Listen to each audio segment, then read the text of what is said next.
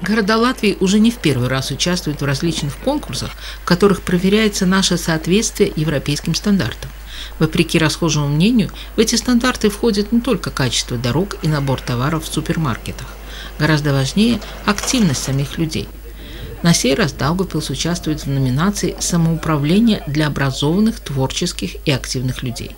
Прибывшая в город комиссия оценивала, насколько доступны для горожан культурные и спортивные центры. Началось знакомство с городом в центре Ротко. На сей раз гостей интересовали не выставки, а то, что в центре постоянно проходят творческие мастерские, уроки рисования и керамики, дискуссии и лекции. В 2012 году самоуправление получило первое место в этом конкурсе. Конкурс называется «Европейское самоуправление года».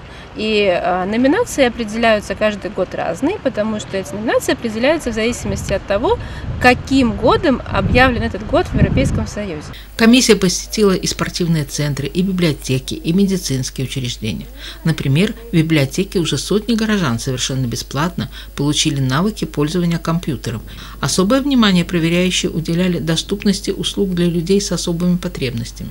К примеру, в Олимпийском центре, помимо всем известных спортивных залов и бассейна, есть все необходимое для реабилитации инвалидов. В состав комиссии входят представители различных министерств и Союза самоуправления Латвии. С моей точки зрения, очень удачное это было решение по центру Ротко. Э, я знаю, как трудно это шло, потому что, к сожалению, в Риге не все понимают, что надо такие вещи делать. Но я думаю, что, вот, например, Центр Ротко, он уже привлек очень много других вопросов одновременно. Это не только уникальный центр сам по себе, но он, он привлекает другие. И, и, конечно, сразу видно и восстановление инфраструктуры, улицы, дорог, переходов и все. Потому что я думаю, что такой прилив туристов, если не было бы центра Ротко, для туристов не было. Знаете ли вы, что ни в одном городе Латвии нет такого количества национальных культурных центров?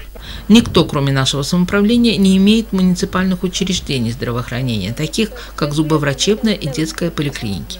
Только в Даугавпилсе нет очереди в детские сады. И еще очень многими достижениями Даугавпилс может по праву гордиться. Наш город Даугавпилс особый город, да, и у нас есть много таких интересных ну, наверное, вещей, которых не имеют другие города Латвии, даже большие, да. Но это и наши э, люди, многонациональный город, да, это поддержка, социальные программы различные, да, которые очень обширные. Это э, ну, поддержка различных негосударственных организаций, которые тоже очень на большом уровне. Это молодежная работа, поддержка лагеря, трудоустройства. То есть есть очень такие моменты, которые мы выделяемся страны других самоуправлений, не только в Латгалии. Какими бы ни были результаты конкурса, направление работы останется прежним. Жители города должны все больше участвовать и в политической жизни, и в культурных, спортивных, просто интересных мероприятиях.